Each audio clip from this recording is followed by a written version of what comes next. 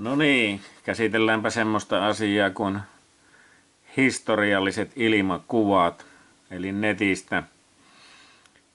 Paikkatietoikkuna.fi löytyy 1900-luvulta eri vuosikymmeniltä olevia ilmakuvia, mitä nyt on missäkin päin Suomeen satuttu kuvaamaan.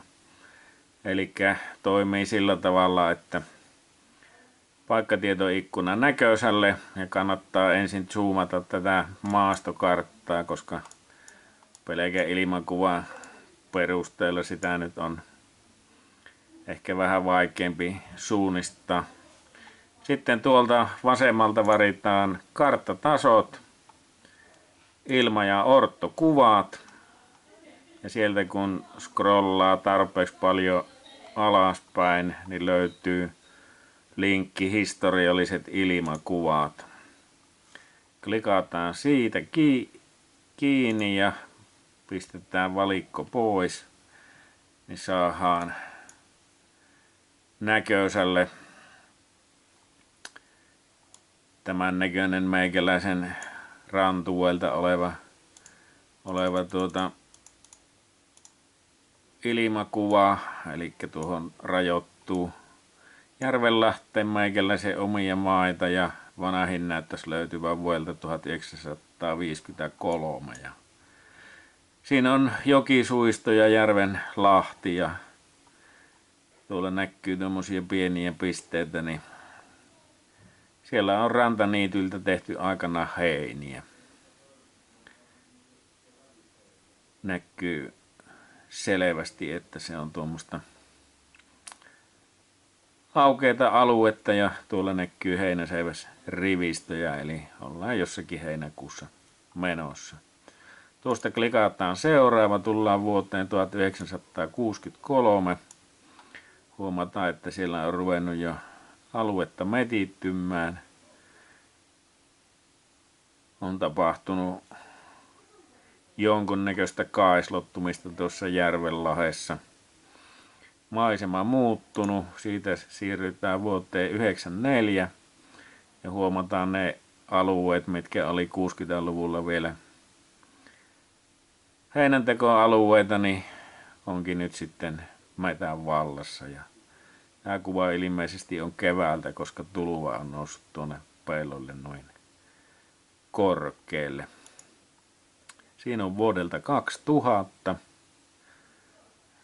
Maisema on muuttunut ja 2011, 16, 17, 2021 on viimeisin kuva alueelta ja tuota, niille alueille, joissa 60-luvulta niitettiin viitakkeella elukoille heinää, niin on nyt sitten täysmehtä. Ja huomataan, että Järvenlahti on melko lailla kasvanut umpeen.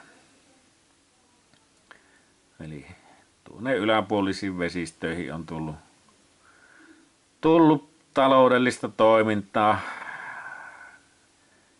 Soita on ojitettu ja turvesoita perustettu, jotka on sitten tuonut tähän Lahteen kiintoaineesta. Ja se nyt näistä ilmakuvista on sitten aika selkeästi pääteltävissä. Mitä, mihinkä tätä nyt sitten metsätaloudessa tarvii, niin puhutaan tästä luontokadosta. Niin käykääpä huviksenne kattelemassa vanhoja ilmakuvia, miltä on kylien ympäristöt näyttänyt 5-60-luvulla ja verratkaa niitä tähän päivään, niin huomataan, että kuinka rajusti se puumäärä on Suomessa lisääntynyt metsätaloustoimenpiteiden vaikutuksesta. Eli iso tekijä tietysti on ojitustoiminta. Ei ole aina ollut, ollut tietysti virheetöntä ja siitä on ollut omat seuraamuksensa vaikkapa nyt osaltaan tämmöinen Järvenlahden umpeen kasvaminen, kenties järven rehevöityminen, mutta Mut mut, puuta on tarvittu Suomen kansan elintason nostamiseen. Mutta ei mennä siihen asiaan. Tiedätte nyt, mistä tämmöisiä kuvia löytyy ja ei muuta kuin antoisia tutkimusretkiä omille tiluksillenne ja kylällenne, minkälaista toimintaa siellä on ilmasta katsottuna kullakin vuosikymmenellä ollut. Se on moro.